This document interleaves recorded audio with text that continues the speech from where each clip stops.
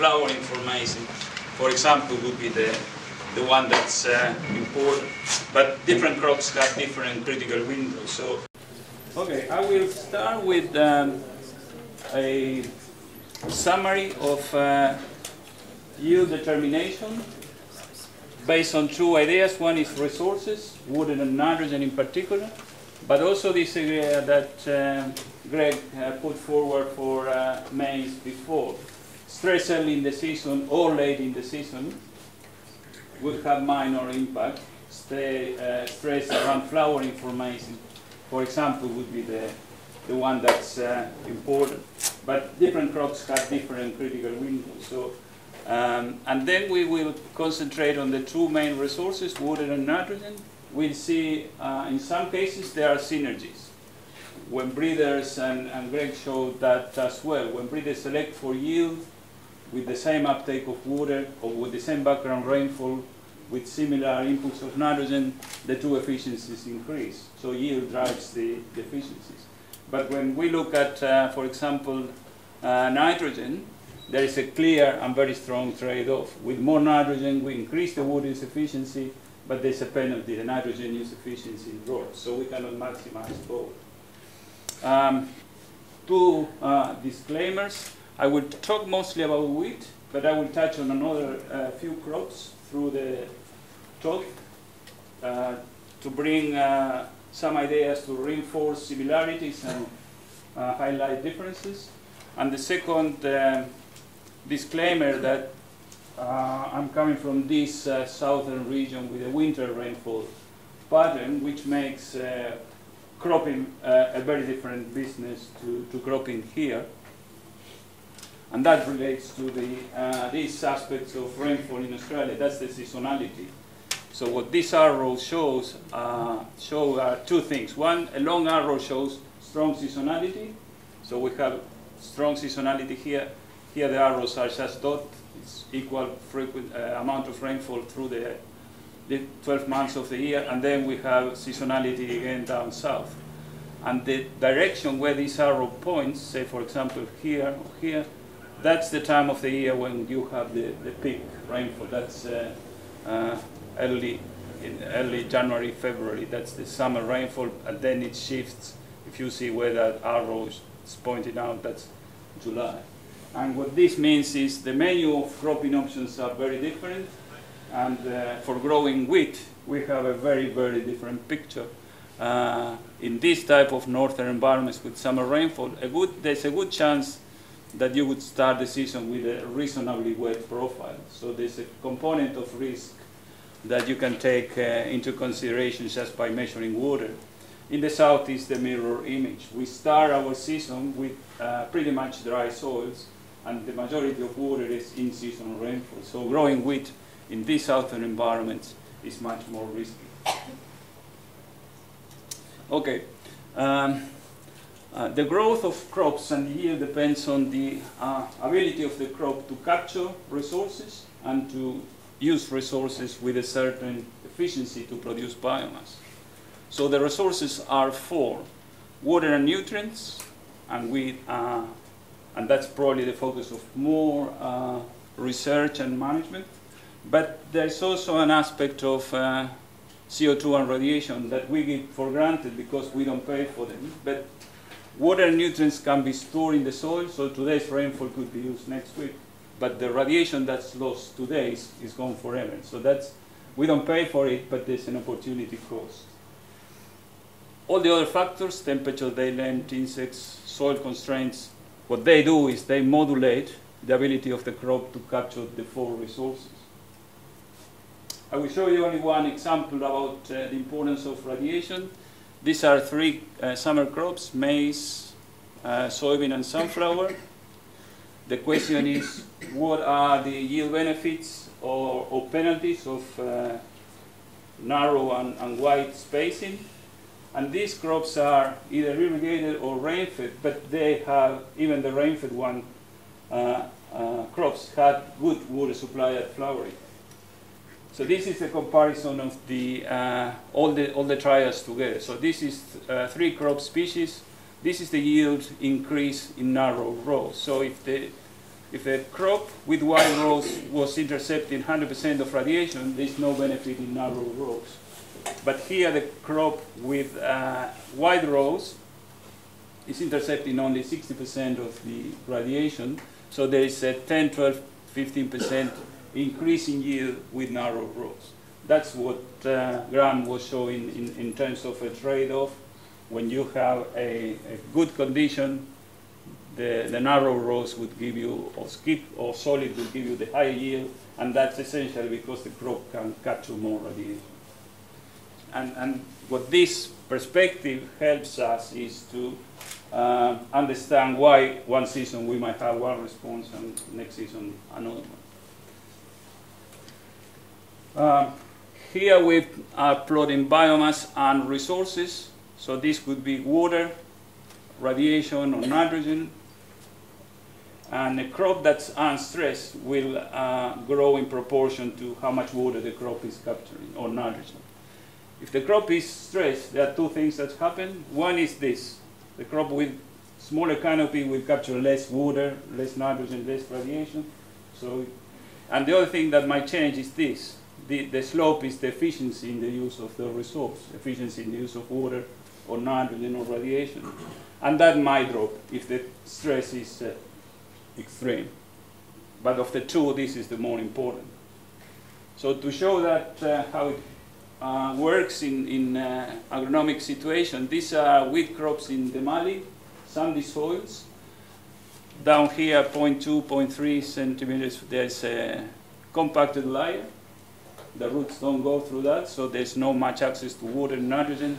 This treatment was, uh, uh the soil was uh, deep tillage, and that's how the crops look up there. When we measure the amount of radiation captured by the two crops, so the control with uh, subsoil uh, compaction was capturing less than 20% of radiation, the other crop was capturing 40. So the stress starts in the soil, but you see how, how that has an impact on, on capture of light. And at the end of the day, that's what reducing the yield. So this is a loop that tries to represent that, that uh, soil stress. This could be compaction, but it could be extreme pH, acidity, alkalinity, it could be boron toxicity, it could be salinity, whatever is affecting the root growth. So the roots are not growing because there is a soil stress. And that reduces the capture of water and nutrients. Because there is less water nutrients, the roots grow less. So here we have a reinforcing loop that starts with the soil stress. But because there is water nutrient deficit, the shoot also grows less. It's the, the crop is nitrogen deficient, as we've seen with compaction, or it's water deficient. So the, the, the, canopy is smaller, and the capture of radiation and CO2 is also affected. And there's an, another loop here, and this is the final loop. Because the canopies are smaller, the roots do have less resources. They have less carbon and energy to grow. So that's the loop of forest stress. Okay. So might, the stress might start in the soil with any factor, but once it's established, the crop is, um, is going to be in this loop. And one of the implications of this is that even if the, the, the crop is stressed because of, uh, say, compaction, the crop can still respond to water or nitrogen or, other factors. Um, this is the dynamics of uh, the yield component of a wheat crop. So what we have is shoots, tillers that are produced, and at some stage the tillers go through this stage of mortality. So the number of heads per meter at the end is not defined by how many uh, tillers are uh, developed, but for this mortality stage. The second component of grain number is how many grains per spike the plant produces. And there's a similar dynamic. The plant overproduces florets, and then there's this mortality stage and here is grain filling, the second uh, component. But this window here, a few weeks before flowering, is the critical one because that's where the mortality of uh, heads and, and uh, grains per spike are, are uh, occurring. So we've seen Graham show the different patterns of stress. So that's from the viewpoint of the environment. From the viewpoint of the crop, what we want through management is to reduce the probability of this critical stage to hit a, a, a high probability of, of water stress, for example. So yield is a function of grain number. That applies to all crops. And in the case of wheat, grain number is defined in this window between stem elongation and a week or so after flowering. Crop management, therefore, should target a high growth rate in this window.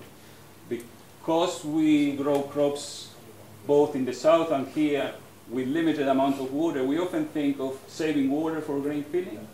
But I think, certainly in the south, I'm, I'm not sure here, I think that uh, viewpoint has been overemphasized, and we're missing the real uh, point of uh, grain number. so this is a classical experiment with uh, wheat, this, where plants are grown with uh, low or high density. This is outside the agronomic range, but we need a log scale to accommodate this uh, drop from 1,000 grains to 10 grains.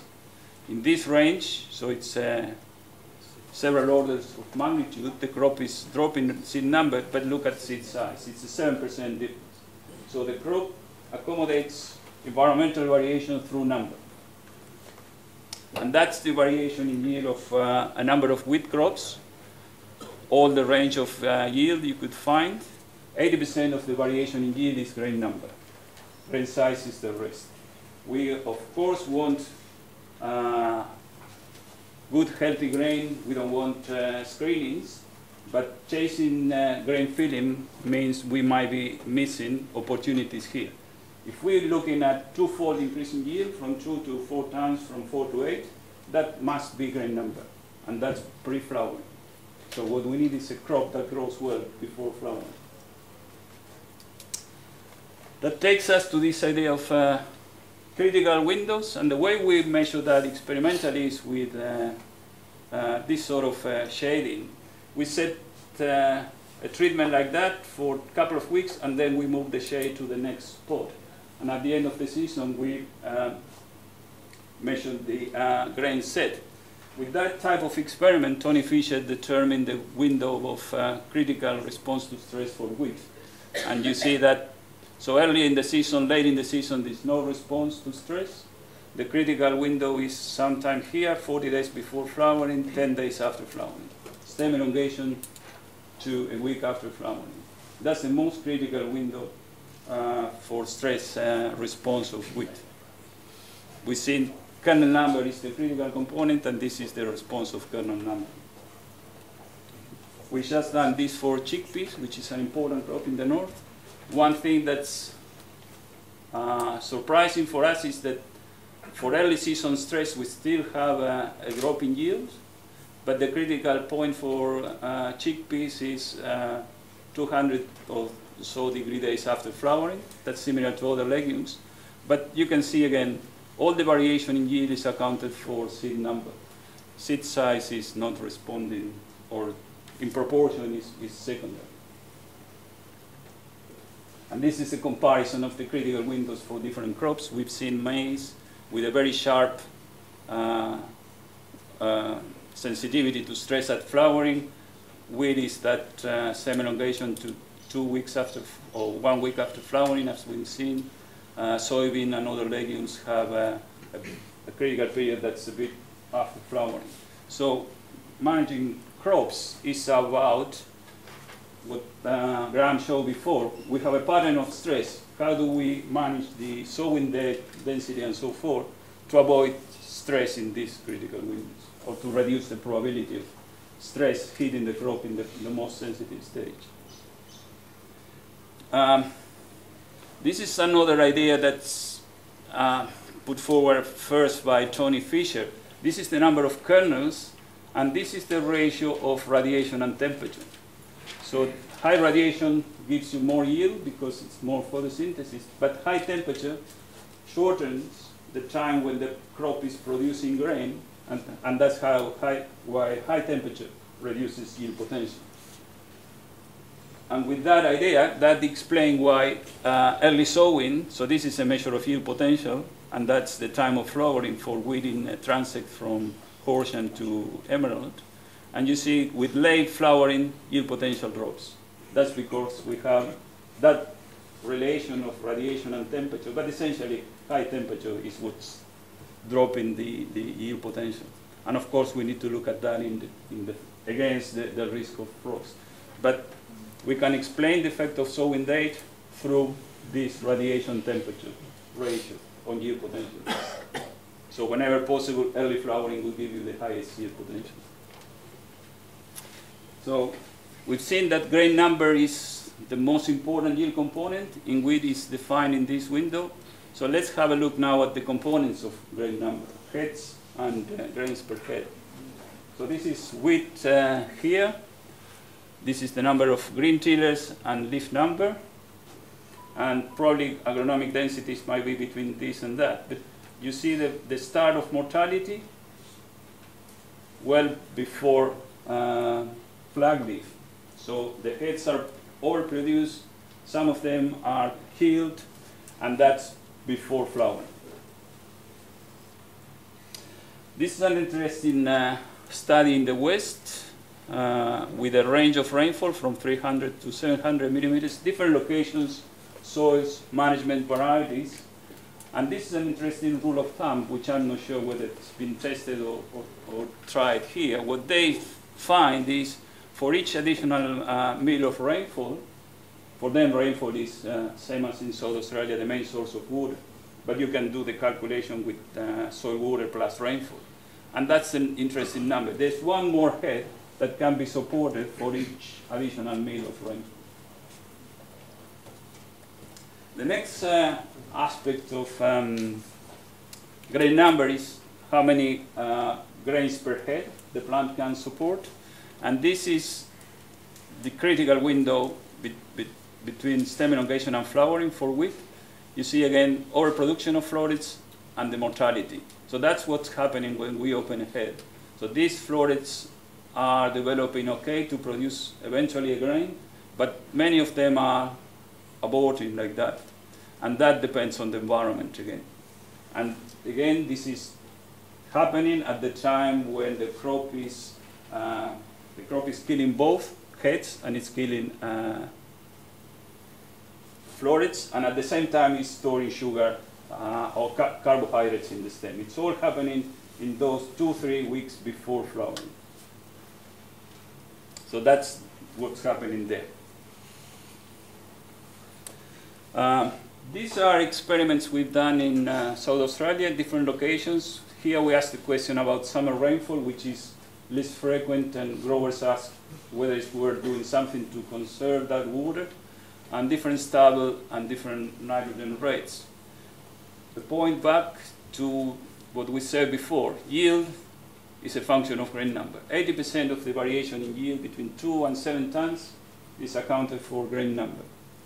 And what drives the grain number here is the growth rate of the crop between stem elongation and flowering. So if the crop has more resources, better conditions, it grows faster, it sets more grain. So having a crop with good supply of nutrients, water, and so forth, pre-flowering is what make, is making the difference in, in uh, grain set and yield. This is another example. That's a field peas. 29 varieties and 10 environments, yield related to seed number, unrelated to seed size, and seed number is related to the growth rate of the crop in the window when, when grain, grain number is set. And these are examples, uh, Greg showed these for maize, growth rate of, an, of the plant and the number of grains set um, per plant. So it's again, for each crop there is a critical window, it might be a bit early or a bit later, but the growth rate, how uh, healthy the crop is, how able the crop is to capture the resources, is what's going to drive grain number and, and eventually yield. And here, this is interesting, you can see this is uh, a ceiling for maize with one uh, cob, and this is a prolific hybrid that can produce with good conditions the second cob.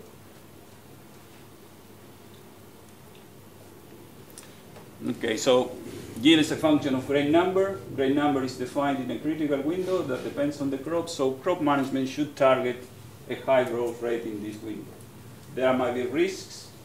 We might run out of water if we have high growth rate early, but the point is how we manage that balance. If we try to be, if we are too conservative to save water, to ensure green filling, we might be losing opportunities to get uh, high yields. We've seen the environments before, and um, just to highlight that for wheat, this is the, the real killer. This is the drought that would get uh, most of the yield uh, losses. And, and see where it starts. So we start to see def deficit of water 400 degrees before flowering.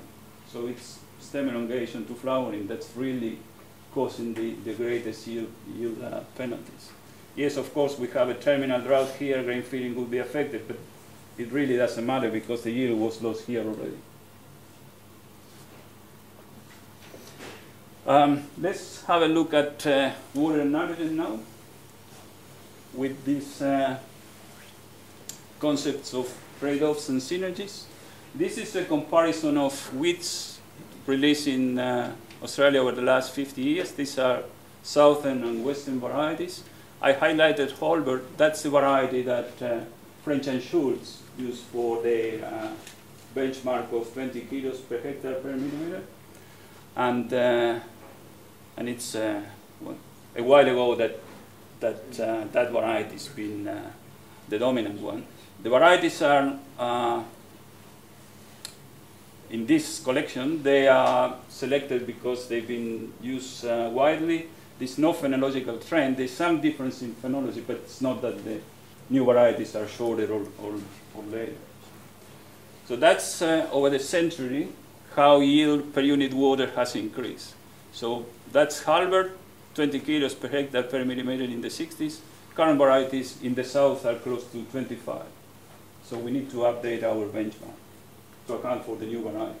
And that's essentially higher yield, higher, uh, harvest index is higher with the same water use, so that's why the water efficiency is increasing. An interesting aspect of this uh, comparison is that when we look at nitrogen, this is a nitrogen uptake of the different varieties. So you see the new varieties are able to get more nitrogen from the soil. And that's been found in the UK as well and with maize in the USA. So pressure to, to get higher yield is improving these sort of uh, traits related to the nitrogen economy of the crop. So new crops or new varieties need more nitrogen. And we see that when we have good conditions for yield, many new varieties are uh, quite poor in terms of grain protein. So we need to certainly adjust nitrogen to account for the new varieties. And that's a case of uh, what we say the synergy. Selection for yield has improved both uh, the nitrogen and the water economies of the crops. So it's a win-win situation. Let's have a look at the trade-off related to nitrogen fertilizer now. So that's the yield and water use of the black points are crops in the Mallee again, and you can see there's a ceiling about two tons.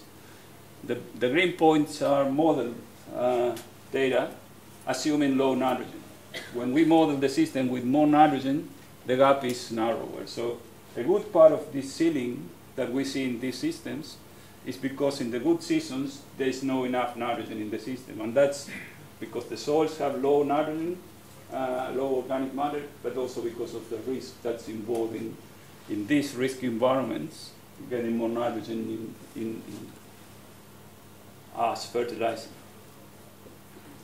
Um, so the reasons why um, nitrogen is required to, to close this gap. So here we see higher water efficiency, high yield with the same water with more nitrogen. One of the reasons is that there is a reduced soil evaporation. So this is canola in the Wimmera with no fertilizer, 120 millimeters of soil evaporation with a high rate. There's a marked uh, drop in soil evaporation. Here, in the north, this might be less important. But you still need nitrogen to have high uh, photosynthesis and water efficiency. Another thing that might happen in a crop that's nitrogen deficient is that the crop might be unable to, to get all the water from the soil. It's not common, but sometimes we can find uh, residual water at, at, maturity in crops that have been uh, limited by nitrogen. So you need nitrogen to get the most of the water. But with more nitrogen, because the response of field to nitrogen has this shape, each unit of nitrogen is giving you less return in terms of grains, uh, grain yield per, per nitrogen. And that's why we have this trade-off driven by, by fertilizer. The more uh, fertilizer we use, water use efficiency increases, but there's a drop in nitrogen use efficiency. So when we see growers in the south or that are working at sort of 70% of the maximum water efficiency, uh, it might be what they're doing is managing the managing this trade-off. This doesn't make uh, economic sense to go for the rates of nitrogen that are required to maximize water efficiency because you have this penalty here. And that's hardwired in the physiology of the crops. All crops will have this nitrogen-driven trade-off between the two efficiencies. So to show that, that's an example with maize in the USA. More nitrogen, water efficiency goes up, nitrogen use efficiency goes down. That's rice, more nitrogen, water use efficiency goes up, and the nitrogen use efficiency goes down. There's no way around that. So management of nitrogen is to some extent managing this trade-off. So to finish up, this um, um, I think this is an important aspect of, of uh, water and nitrogen. So we often try to look at water and nitrogen uh, separately, and in particular in breeding, trying to improve one or the other. But uh, in reality, we cannot separate water and nitrogen. So we need nitrogen to have a high water efficiency, but with high nitrogen input, there is a low uh, efficiency in the return for uh, nitrogen, and there is a risk associated with that. And to summarize this idea of uh, critical periods, if I'm given one dollar to improve yield of wheat through agronomy breeding, that's how I would invest that. It's important to get the crop in. It's important to have a, a good finish, but that's the window where we will have uh, the greatest return for investment. That's where we need to focus. Thank you.